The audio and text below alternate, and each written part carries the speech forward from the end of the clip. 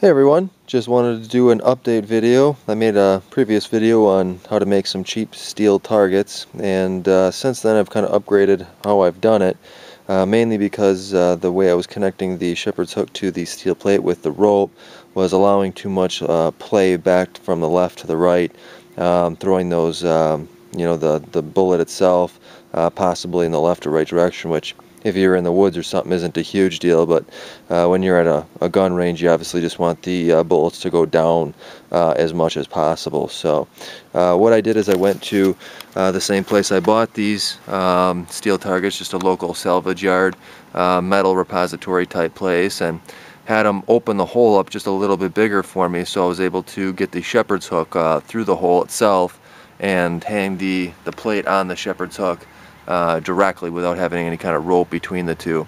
Uh, and as you can see that uh, definitely helps with the, the play back and forth to the left. You don't have as much of that with the rope. You can't spin it around.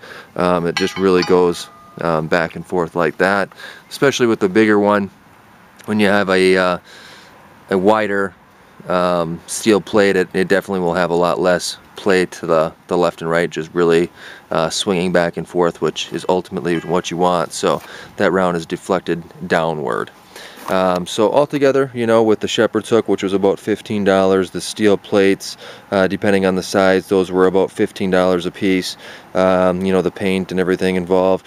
You know, I really just have about 20 to $25, um, $30 max each uh, on, on each of these uh, steel plate targets. So, um, as I mentioned before, it's uh, you know I enjoy shooting the steel targets much more than than just paper. You get that uh, cool steel sound, um, and you you know if it's a freshly painted steel target, you can definitely still see where you're hitting, as you can see here. Uh, so, definitely uh, a good cheap way of doing it if you guys need some steel targets to make or can't afford the ones that are online. This is a good alternative. Hope this helps you guys out. If you have any questions, feel free to let me know, guys. Thanks.